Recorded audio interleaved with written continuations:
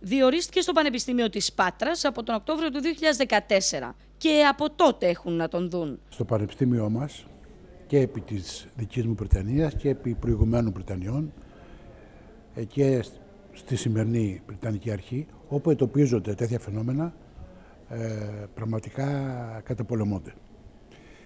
Ε, και, και, και ορθώς.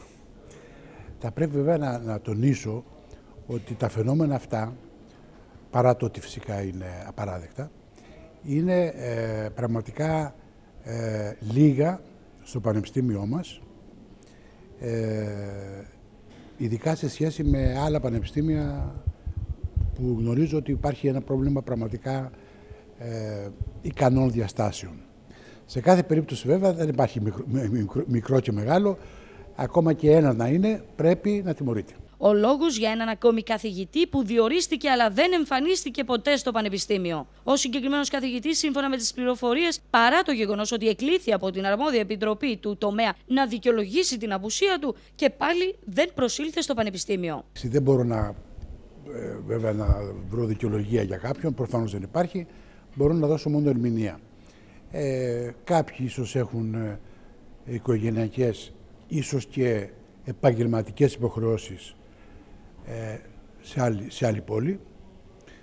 Ε, κάτι που βέβαια ε, δυστυχώς ε, δημιουργεί προβλήματα στο Πανεπιστήμιο ε, και σε κάθε περίπτωση το μήνυμα που πρέπει να δώσουμε είναι ότι όπου εντοπίζονται τέτοια φαινόμενα πρέπει να τιμωρούνται και βέβαια ε, να εξαντλείται, αν θέλετε, ε, ο νόμος, γιατί ο νόμος προβλέπει και ποινές έτσι, από μικρές έως μεγάλες. Πρόκειται για μία ακόμη περίπτωση καθηγητή που διορίστηκε αλλά ποτέ δεν εμφανίστηκε. Να υπενθυμίσουμε πως περίπου έξι χρόνια είχε να φανεί και άλλος καθηγητής στο Πανεπιστήμιο Πατρών. Ο καθηγητής που ξυλώθηκε λόγω απουσιών. Το Πριτανικό Συμβούλιο, με ομόφωνη αποφασή του, προημερών κατέληξε στη διακοπή της μισθοδοσίας του. Ενώ παραπέμπεται στο Πειθαρχικό Συμβούλιο του Υπουργείου Παιδείας, που θα λάβει την τελική απόφαση, αν και το ενδεχόμενο της απόλυσης είναι περισσότερο απορατό, όταν η διαδικασία φτάνει σε αυτό το στάδιο. Και εσείς ε, ως προείπνευση στο Πανεπιστήμιο έχετε εντοπίσει και εσείς ένα φαινόμενα ή όχι; Είχα εντοπίσει κάποια φαινόμενα και μάλιστα είχα κάνει κάποιες ενέργειες ε, σε εισαγωγικά για να τα προλάβω.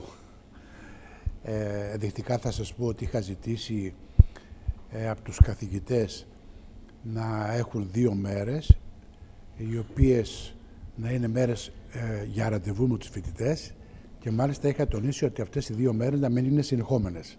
Καταλαβαίνετε για, ποιο λόγο. Για να δίνουν το παρόν. Ακριβώς. Να μην είναι Δευτέρα και Τρίτη, να είναι ας πούμε Δευτέρα και, τε, και Τετάρτη. Για να είναι στο Ακριβώς. Για να, για να αναγκάσω τον, ε, τον καθηγητή που ήθελε να λείπει ε, να είναι εδώ.